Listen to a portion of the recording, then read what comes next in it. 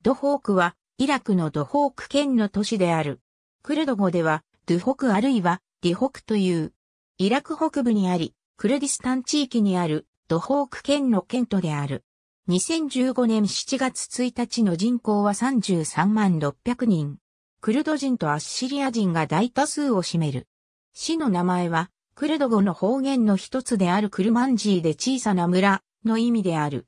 チグリス川に沿って山々が取り囲み、観光産業が発展してきた。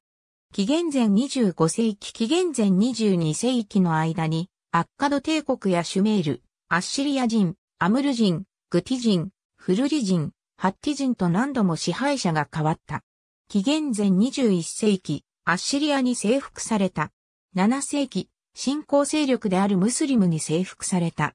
1236年、クルド人のハサン・ベグ・サイファディンがバディナン公国を建国し、ドホークは重要な都市になった。